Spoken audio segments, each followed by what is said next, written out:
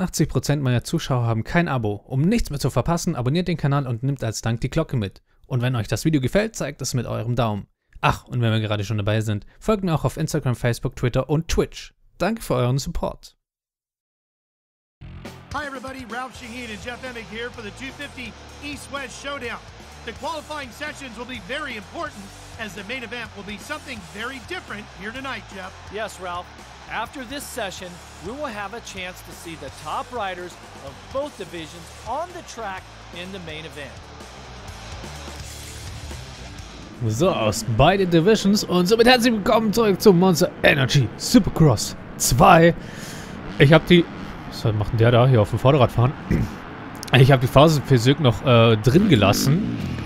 Ähm, er hat auch immer in die Kommentare reingeschrieben, ich sollte sie drin lassen, man gewöhnt sich relativ schnell dran und man könnte damit auch besser fahren. Äh, und ich muss selber dazu sagen, so ein bisschen habe ich dem Kommentar Glauben geschenkt, ganz einfach. Es ist natürlich ein krasser Umstieg von normal auf fortgeschritten von die Fahrphysik, äh, die Einstellung. Aber ich fand es auch dann ein bisschen übel, als ich damals von fortgeschritten wieder zurück auf normal bin. Und ja, man, es ist halt einfach, klar, es ist ein bisschen realistischer alles, aber das Bike kontrolliert oder man kann es auch besser kontrollieren. Wobei man halt natürlich auch ein bisschen aufpassen muss. Es gibt halt auch manche Aktionen, die dadurch halt auch härter werden. Gerade wenn man irgendwie so, sag ich mal, blöd mit dem Hinterrad, so wie hier gerade, so ein bisschen mit dem Hinterrad auf dem obersten Punkt von einem Hügel aufkommt und man dann so nach vorne quasi gefetzt wird, da ist natürlich mit fortgeschrittener Physik natürlich nochmal ein bisschen übler. Aber wir schauen mal. Wir sind Platz 3. Ich habe mich jetzt auch noch gar nicht so extrem aufs Fahren konzentriert. Ich finde es auch so persönlich, ich habe jetzt gar nicht mehr so, so ein Problem damit. Hier mit der fortgeschrittenen Fahrphysik. Muss ich auch ein bisschen dazu sagen? Ja, okay, hier ein bisschen mit den Geschwindigkeiten war halt ein bisschen das Problem. Aber rein vom Fahren her jetzt nicht. Ich hätte jetzt wieder so ein bisschen das Problem, wenn ich jetzt wieder zurückgehen würde. Würde ich jetzt mal wirklich so behaupten. Und das hatte ich das letzte Mal eigentlich auch. Also so, das Rennen war da so am Anfang so katastrophal, weil ich hochgestellt habe. Und Richtung Ende ging es dann einigermaßen. Und dann war das nächste Rennen wieder katastrophal, weil ich wieder zurückgestellt habe. Also, lassen wir mal fortgeschritten einfach mal drin. Guck mal, sieht doch jetzt hier ganz okay aus, oder? Platz 1, die Sekunde Vorsprung. Will ich jetzt nicht sagen, es ist nur wegen der Fahrphysik so, dass ich da jetzt mega krass geil drauf klarkomme. Äh, aber kann auch natürlich ein bisschen die Strecke sein. Ich finde, die Strecke hat jetzt auch... Geht einigermaßen. Also hier komme ich meistens ein bisschen schlecht durch. Wobei das jetzt gerade ganz gut war. Ah, okay, hier natürlich war es ein bisschen blöd. Aber ich denke mal, ja, mit, mit einer Sekunde Weiß nicht, ob sie da noch so großartig nach vorne kommen. Ja, wir, wir probieren unser Glück. Look sieht richtig gut aus. Vor allem Richtung Ende noch so. Äh, bleibt. Let's take a look at the results from the session. The top ranking riders will continue on to the main event for the East-West Showdown. Uh, war doch richtig gut. Habe ich eigentlich noch nicht mal richtig angestrengt. Habe ja viel geredet, nicht viel, äh, mich eigentlich aufs Fahren konzentriert. Und es ging gut ab schon.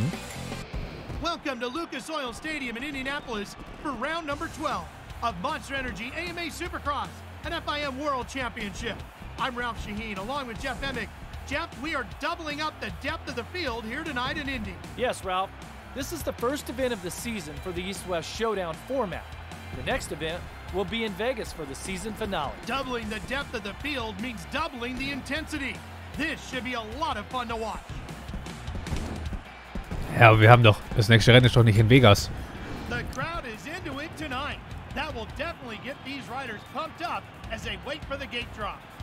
Ich glaube, die sagen das jedes Mal falsch, weil eigentlich haben wir noch zwei Rennen. Also wir haben dieses Rennen, wir haben, glaube ich, das nächste Rennen und dann in Vegas. Oder haben wir noch zwei zwischendrin? Also jetzt das und dann zu Vegas nochmal zwei. Guck mal hier, fährt man erstmal so folgendes Monsterschild. Müssen wir so ein bisschen ausweichen. Ich würde selber auch jetzt nicht gar nicht so ganz weit links fahren oder so, sondern ein bisschen weiter in, äh, innen, ja. Weiter in der Mitte, schon nach innen gerichtet, aber ein bisschen äh, mittig, damit man besser in die Kurve kommt. Oder man kann auch ein bisschen sch länger schnell fahren.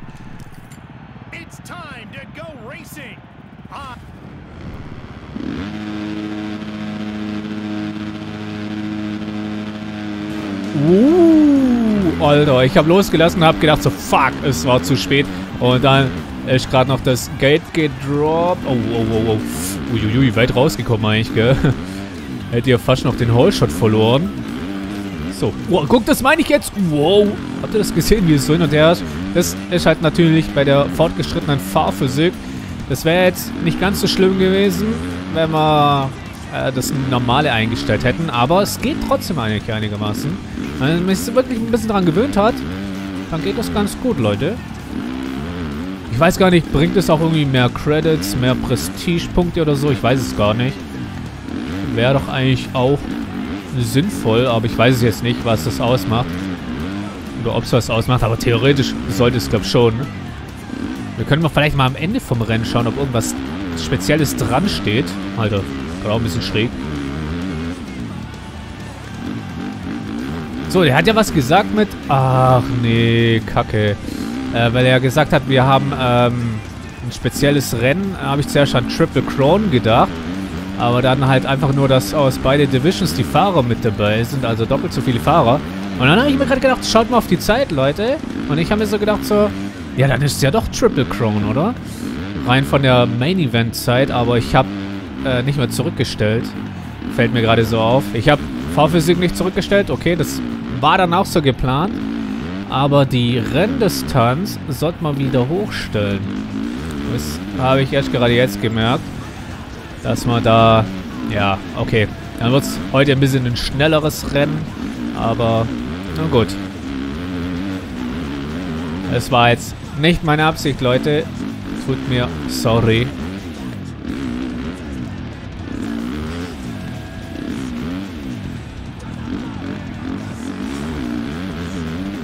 Aber es läuft ganz gut eigentlich. Wobei, guck mal, so wie wir jetzt vorne sind, also hätten wir jetzt doch noch ein langes Rennen gehabt, hätte das jetzt auch nicht so viel Unterschied gemacht. Wäre ich halt ein paar Runden länger vorne rumgefahren. Wow. Nicht, dass es hier irgendwie als Abkürzung oder so zählt und dann werde ich zurückgesetzt. So, ah. Ah, hier nicht so ganz.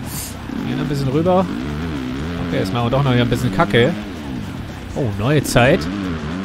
50, 5, 8, 1. Was hatten wir? Was hatten wir im Qualifying? Ich weiß gar nicht. Irgendwie habe ich 56 im Kopf oder so. Oder waren es 5,6? ich weiß nicht. Weil äh, 56 wäre ein bisschen hart. Dann wären wir jetzt äh, 5,5 Sekunden schneller als im Qualifying. Das glaube ich jetzt auch nicht unbedingt.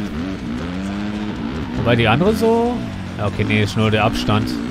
Also nicht, dass wir den jetzt... Oh, jetzt wollte ich hier unbedingt einen Scrub machen. Und habe jetzt leider nicht mehr ganz drauf geachtet, wie ich abspringe. War mir der Scrub fast schon wichtiger, aber na gut. Uiuiui. Ich fahre immer so knapp. Guck mal, ich hatte den Sturz und jetzt sind wir bei 11 Sekunden. Davor waren wir bei 6 Sekunden. Ich fliege hin und der Abstand wird größer. das kenne ich halt, wenn ich hinten bin, aber nicht, wenn ich vorne bin. Leute. 8 Sekunden? Okay. Hat sich trotzdem hier nochmal vergrößert. Oh, das... Okay, das war ein bisschen zu viel. Da muss man das ein bisschen gucken. Gerade im Drift oder so. Muss man gucken. Das ist dann natürlich jetzt ein bisschen extremer. Wir können es hier mal... Oh, Alter. Da hat man schon gemerkt, man kann bei der normalen Fahrphysik kann man da durchziehen. Da passiert eigentlich nicht viel. Aber hier darf man es... Mit der Fortgeschrittenen darf man nicht übertreiben. So, jetzt hat man zwei Stürze. Jetzt sind sie mal endlich näher rangekommen. So, ah, eine schöne Landung. Und ich verliere gleich noch meine Position. Wir sind in der letzten Runde. Und ich riskiere ganz schön viel. Aber jetzt ist es wieder sieben.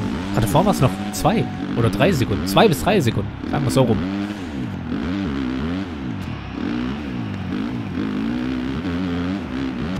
So, ja, das war jetzt leider ein bisschen sehr, sehr schnell, Leute. Wie gesagt, es war keine Absicht. Eigentlich What a great race! Here are the results for the 250 East-West Showdown as we take a look at the standings to see how your favorite rider did. Ja, eigentlich habe ich halt wirklich nicht dran gedacht. Ich habe gedacht, so Fahrphysik lass man so, wie sie davor war. Aber ich habe ja nicht dran gedacht, dass ich die Renndistanz auf kurz gestellt habe. Fantastic effort by these riders. They put on a great show the way they battled here tonight. Ja, okay, punktemäßig. Ja. Aber guck mal hier. Wir haben noch zwei Rennen, bevor Vegas kommt. Und er hat gesagt, jetzt kommt dann Vegas. Also irgendwie sind wir aber halt auch weit voraus, gell? Ist die Frage, Schwierigkeitsgrad mal nach oben tun. Wir können ein bisschen was riskieren. Also, klar, ich habe jetzt nochmal hier die Saison gemacht wegen dem Achievement, aber guck mal, ich bin jetzt 40 Punkte voraus. Kann ich mir noch überlegen bis zum nächsten Part und bis dahin wieder schauen und reingehen. Hauen.